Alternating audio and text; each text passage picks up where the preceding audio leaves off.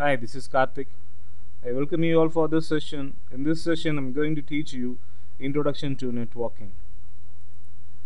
And let me start with networking. So, computer can be linked by network to share data and resources. So, what is the primary need of networking? So, the primary need is to share data and resources.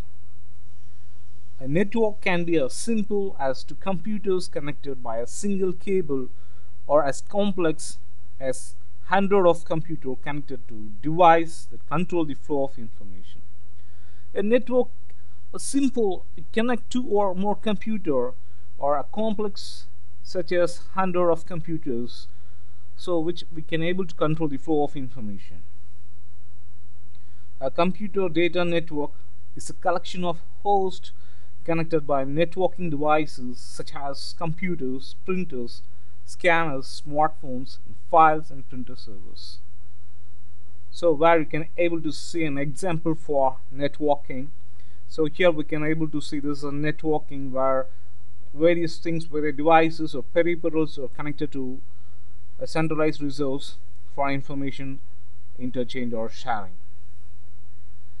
So how to link the network devices is the next problem so the network device links together using a varieties of connections. For example it may be a copper cabling so this is a copper cabling and fiber optic cabling or wireless connection.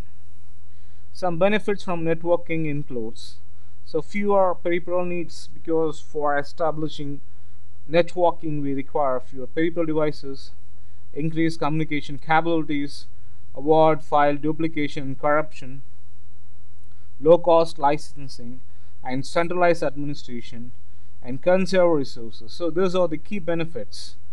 And next we are going to see types of networks. A computer network can be identified. How we are going to identify the type of network, the type of media used to connect the device, the type of networking device used, how the resources are managed, how the network is organized, how the data is stored, the area itself. So based on these parameters, you can able to classify the types of networks. First comes peer-to-peer -peer network, the device which are connected directly to each other without any additional networking devices between them. Each device has equal capabilities and responsibilities in simple peer-to-peer -peer, there won't be any centralized resource called a server all the systems are peer-to-peer -peer, all the systems are interconnected for information interchange. Next comes your client server. In a client server model the client requests the information or service from the server. The server provides the request information or service to the client.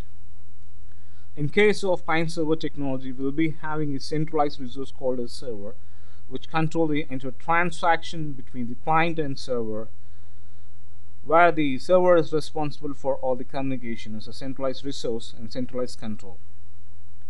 And bandwidth and latency. So what is a bandwidth? Bandwidth is the amount of data that can be transmitted within a fixed time period. Once again I repeat, bandwidth is the amount of data that can be transmitted within a fixed time period.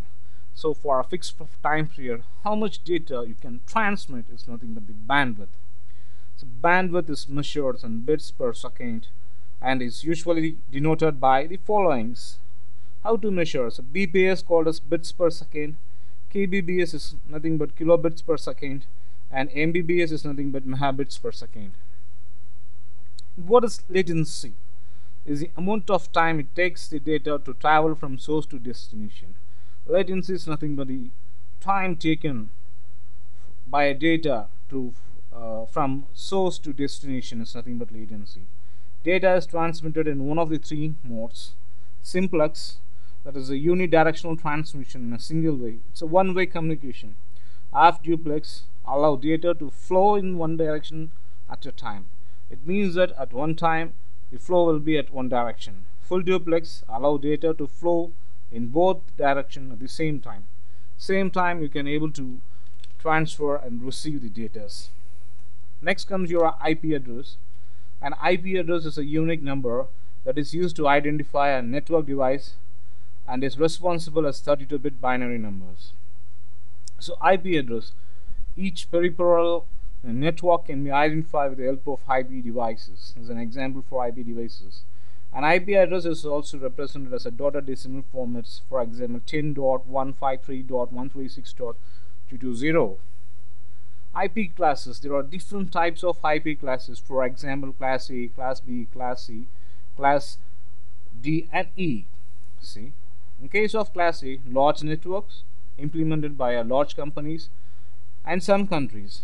Class B, it's a medium-sized network implemented by universities. Class C, small networks implemented by ISP internet service providers for customer subscriptions. Class D, special use for multi-class multicasting class E used for experimental testing. So two types of LAN topologies are there. One is a physical topology the physical layout of the component of the network how the physical layout will be.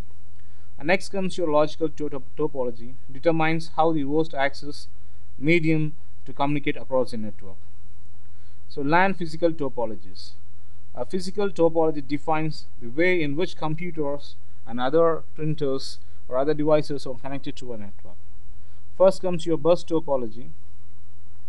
Each computers connect to a common cable that ends the cable have a terminal installed to prevent signal reflection network error. So only one computer can transmit the data at a time or frames will be collide and be destroyed. In case of ring topology, hosts are connected in a physical ring or a circle. It's a special frame. The token travels around the ring, stopping each host to allow the data transmission. And next comes your star topology. So there are two types of ring topology, single ring and double ring. And next comes your star topology. As a centralized connection point, a hub, a switch or a router easy to troubleshoot since each host is connected to central devices with its own wire. Next comes hierarchical or extended star topology. A star network with an additional networking devices connected to a main networking device to increase the size of the network.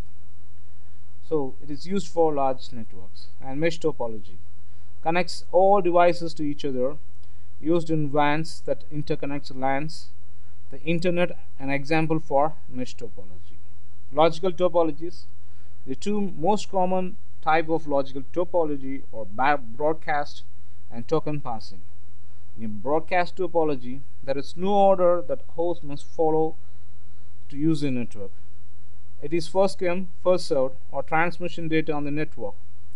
Token passing controls network access by passing an electronic token sequentially to each host, where host receives the token it can send data on the network. If the host has no data to send, it passes the token to next host and process repeat itself. So LAN architect, it is the overall structure of a computer or communication systems and determine the capabilities and limitation of the systems. There are three most common LAN architect. Ethernet based on IEEE 802.3 standard which specifies that a network uses carrier sense multiple access with a collision detection CSMA by CD. So carrier sense multiple access by collision detection access control method and token ring based on token passing access control method. The token ring topology is referred to as star wired ring because the outer appearance of the network design is a star. I think uh, the more things I can give in next presentation so keep on watching my video. And if you want can contact me using my mail id karthik.me.vlr gmail.com and for further notes you can log on my blog kar karthik www.kar3ik.blogspot.ac.in blogspot.in so I think you may enjoy this video. Thanks for watching this video. Thank you